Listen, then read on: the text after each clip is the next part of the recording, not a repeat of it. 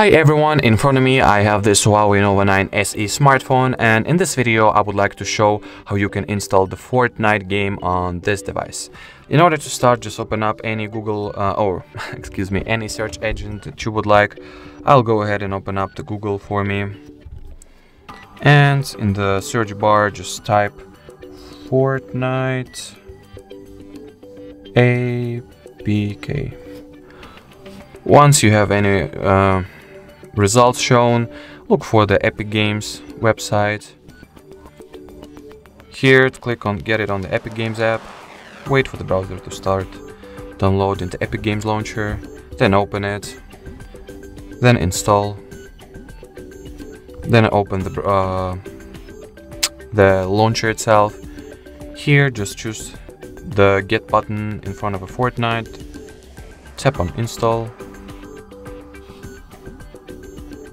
it will start downloading the uh, game files. It will not take a lot of time at this stage.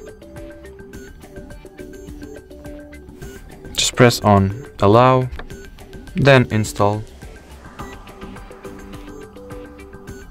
So the Fortnite launcher has been installed successfully. So all that is left to do is to open it